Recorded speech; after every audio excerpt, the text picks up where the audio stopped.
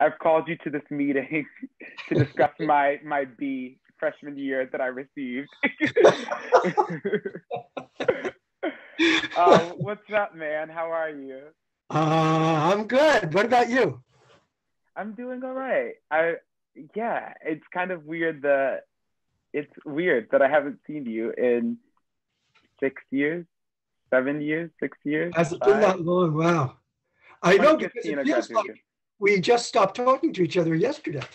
Right, and I and I was I was when I was when we were planning when I was saying that I wanted to you know talk spend some time talking with you.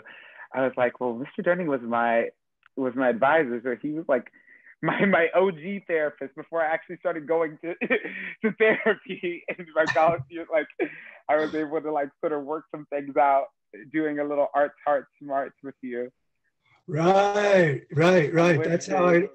Yeah, if in case anyone is out there listening, as an advisor, I would sometimes say, let's hear just a little something about your arts, your hearts, and your smarts. I didn't make that up about Walnut Hill, but it was a quick way of, you know, getting at Checking the good in.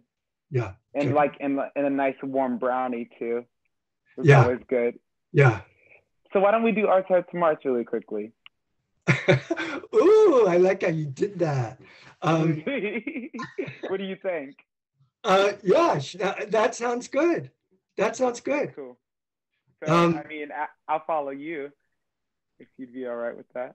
Sure, sure, sure. Uh, let's see. Uh, so I should do one of those three. Yeah, or we could go back and forth maybe so that we go back and know, forth. Yeah, we could do that. Yeah. So how do you say that? Arts, hearts, and smarts. So let's. Yeah, that's the order. Okay, cool. Arts for me. Um, hmm. You know, so I guess arts and hearts sometimes naturally um, coincide. You know what I mean? Um, they sometimes yes. exist in the same place. Yes. Well, you and I actually haven't caught up since I, you know, was on tour this past year.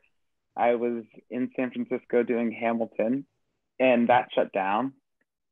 So oh. we're doing like a, a full, a full arts recap, but that shut down um, because of COVID. And oh, that's too bad. The whole Broadway Did you get down. to do yeah. it first though? Did you get to do it for a while? So yeah, so yeah, I, I was um. Oh wow! I'm so excited to be catching up with you. I'm sad that it's only a little. Bit. Um. So yeah, I was covering. I was understudying, um, Thomas Jefferson and Lafayette and Laurens Philip and Mulligan Madison. So I had gone on for two of those roles um, before the shutdown. I'd gone on for Laurens Philip and um, Lafayette. Uh, Thomas amazing. Jefferson.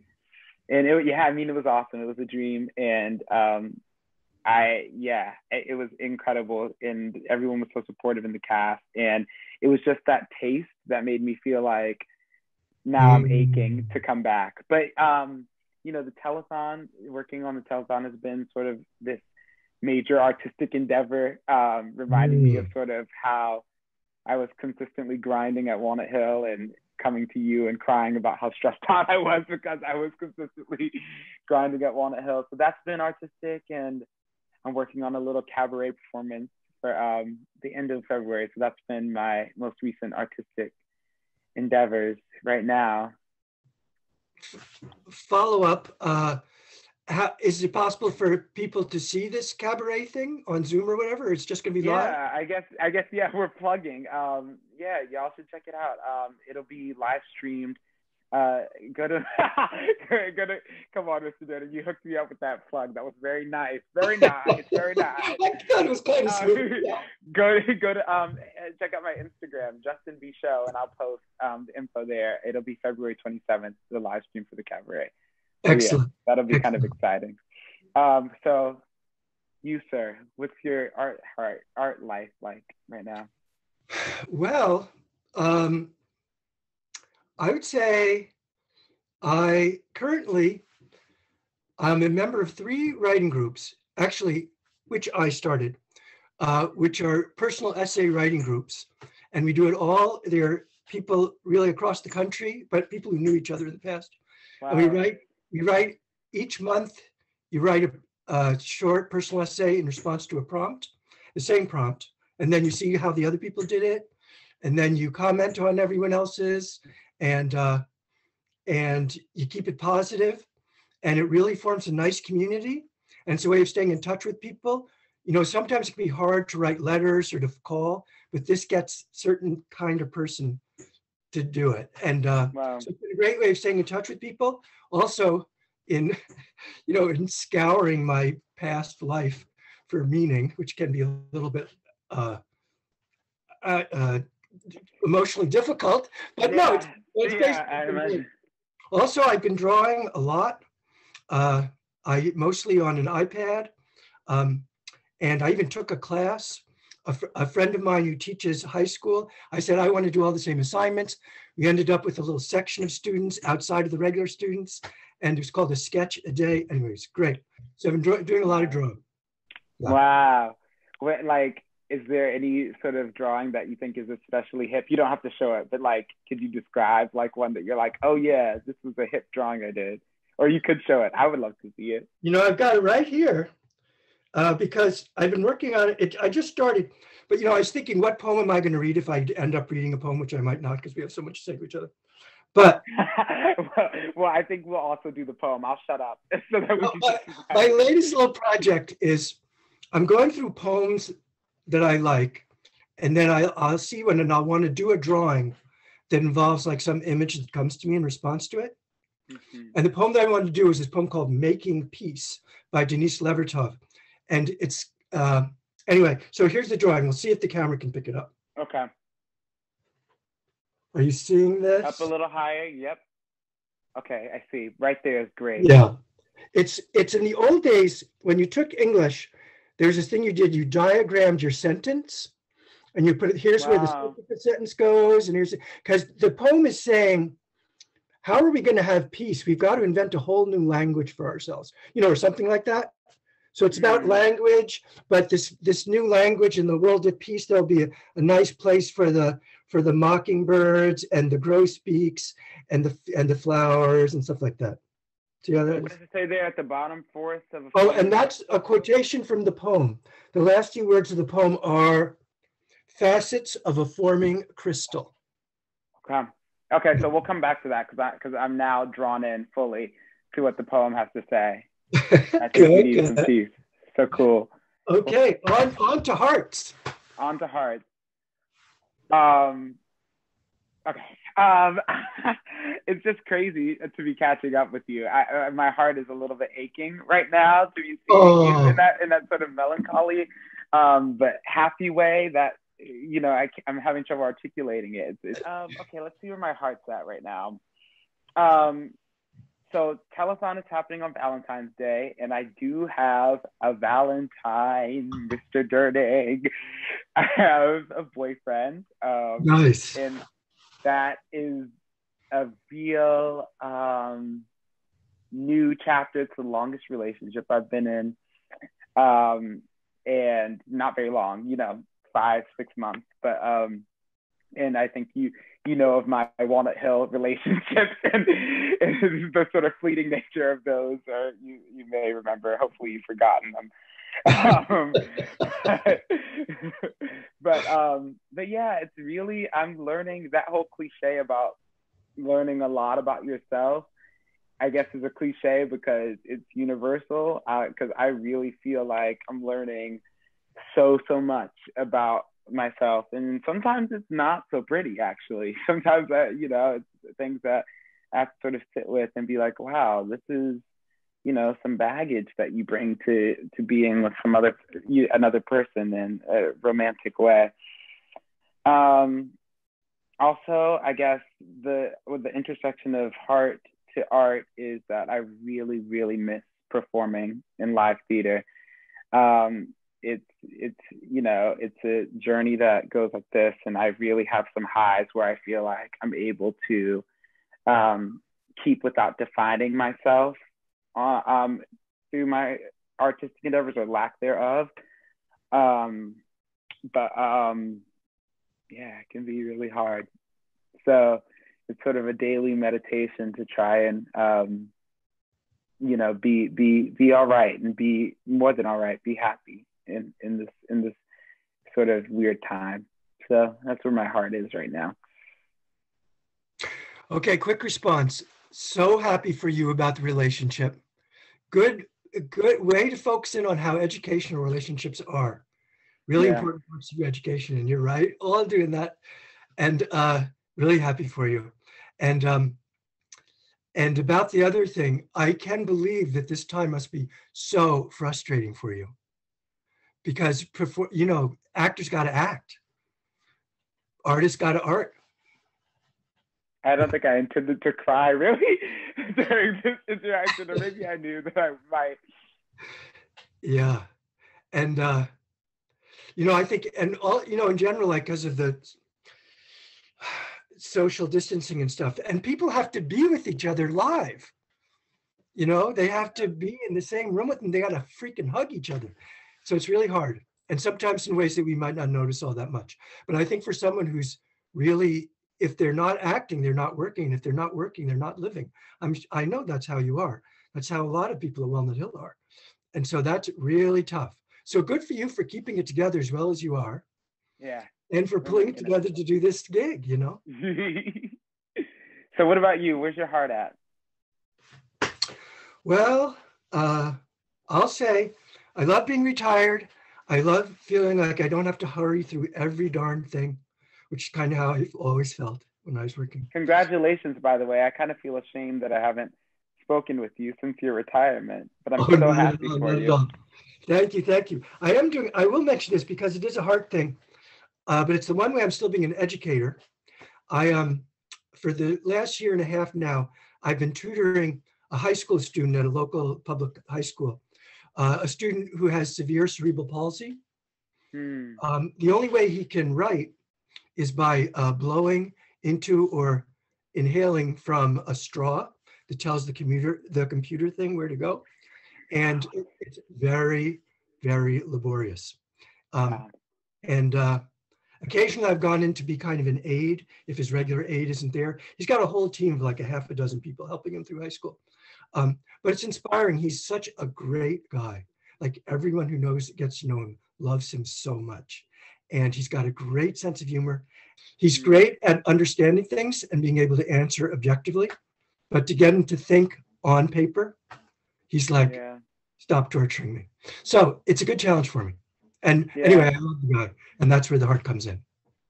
Yeah. Well, in and I guess in some ways to to respond uh, just quickly is like it, it, I imagine for you that it might be like if he if he feels like he's being tortured at a certain point, for you to kind of not let up and him. There goes my headphone, and want him to you know continue to press through. That could I'm, I imagine that could be hard at times. Yeah. Yeah. A lovely, lovely work. Well, cool. Um, so smart. I mean, this will be pretty quick. I think this was also, and not at all to diss any of my lovely, of course, academic teachers at Walnut Hill, but this was always my sort of quickest subject. I, I think because it is sort of, um, You were a very good student. So everyone listening know that. Yeah. I was pretty awesome. I think actually in school, which is yeah. I think that came from my mom's pressure a little bit.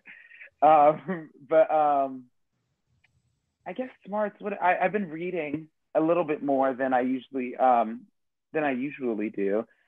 Um, I'm a really slow reader. Um, I think I might have talked with you about that in some of our classes, like trying to get the assignments and get. I still am a pretty slow reader. Um, but I'm reading this um, book, um, "Not All Boys Are Blue." Uh, I wish I were could remember the. I'm not going to get up and go get it right now.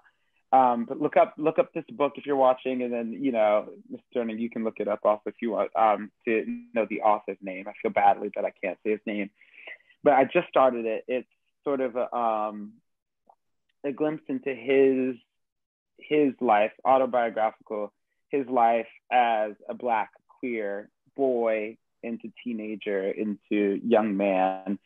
Um, and so far, the similarities um, of his coming of age, um, I find to be strikingly similar to my to my life. Um, and it's just bizarre because also I've been reading a lot of James Baldwin over the last like three years, and sort of moments where we would get either a fictional glimpse into his his life or his world. Like those also felt really close and intimate to me, and so I'm sort of grappling with what is this because we all, you know, with James Baldwin, he lived in, you know, different a different generation time entirely.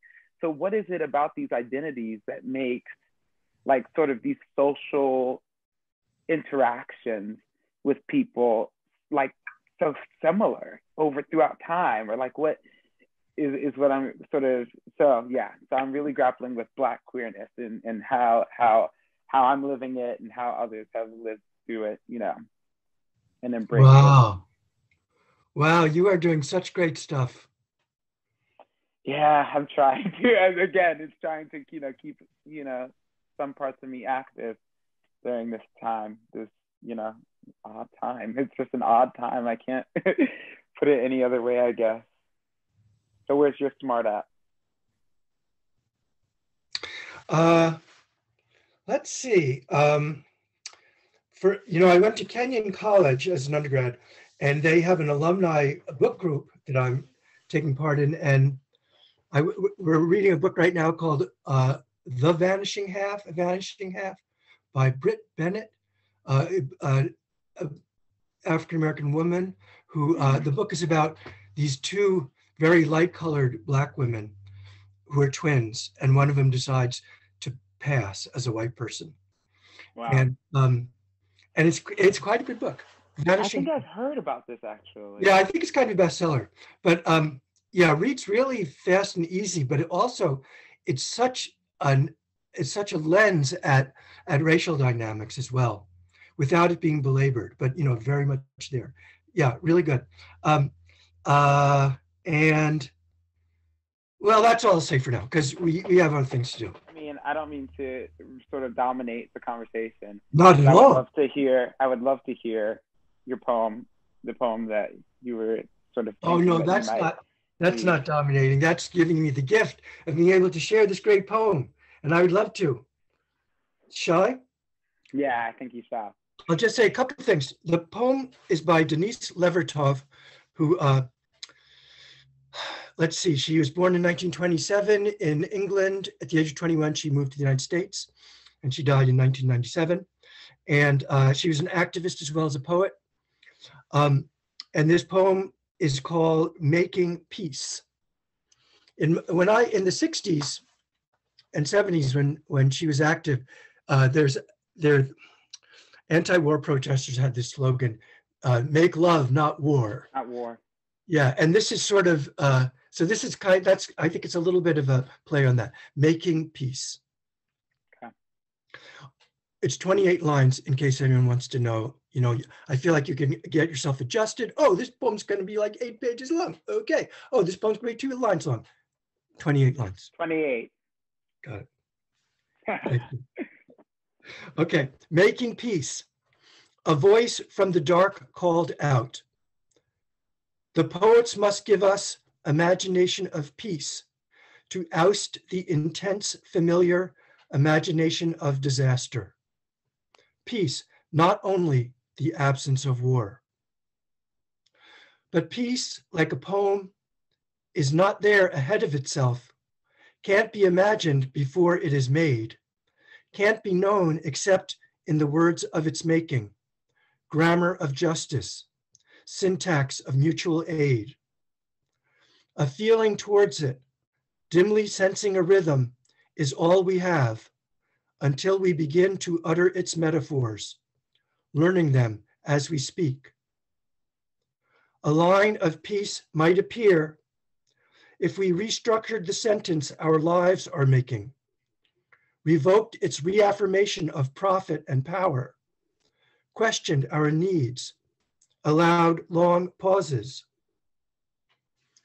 A cadence of peace might balance its weight on that different fulcrum. Peace, a presence, an energy field more intense than war. Might pulse then, stanza by stanza into the world, each act of living one of its words, each word a vibration of light, facets of the forming crystal.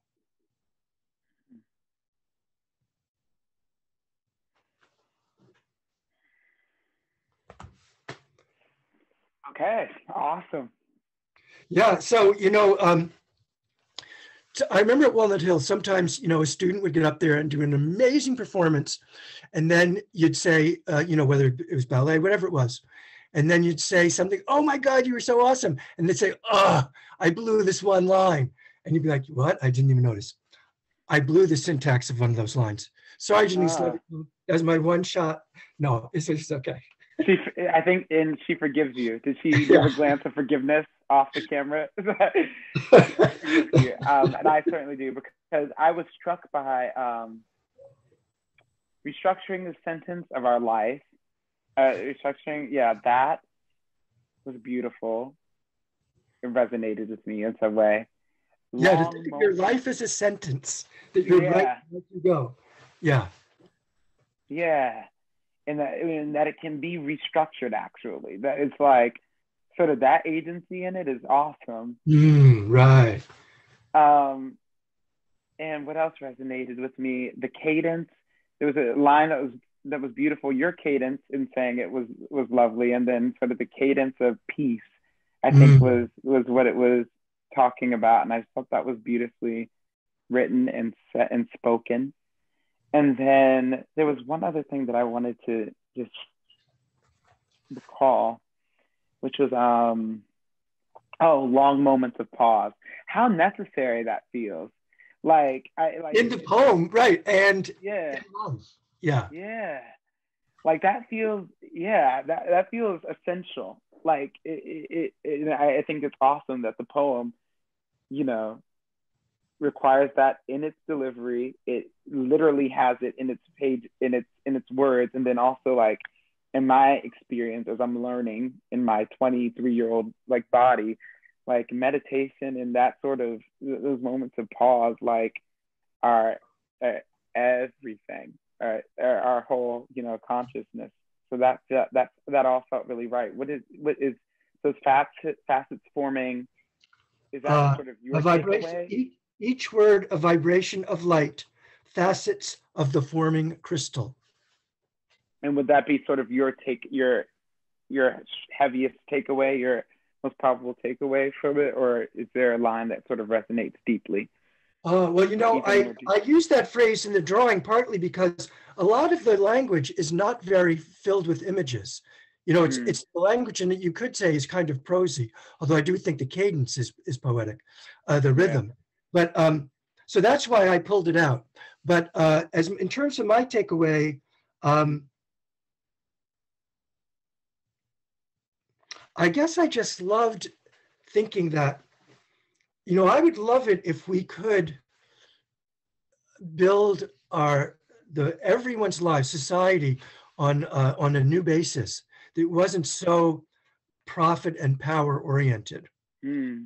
But how to do it? It's like overwhelming. But if she says, you know, think of it like this: it's just like it's just like collectively writing a new poem. Let's everybody start right now. I'm like, oh, I can get behind that. Yeah. right right one thing one bite at a time sort of Yes, right, right. One word at a time. one word One interview at a time, Mr. Showell. one interview one chat one catch up Yeah. Hmm. Yeah, so great seeing you. I was just saying thank you uh, to Garrett for making this possible. And I wanted to say to any walnuts out there, if they end up hearing this, uh, that uh, I miss you all. And I hope you're doing, making your way through this hard time as well as Justin is anyway. And, uh, and Garrett as well as mr durning is and me and, um, and, uh, and non nobis solum. non nobi solum we love you mr durning i love you mr durning Love you, Justin. Bye, Love y'all. you, Garrett. Bye, everybody.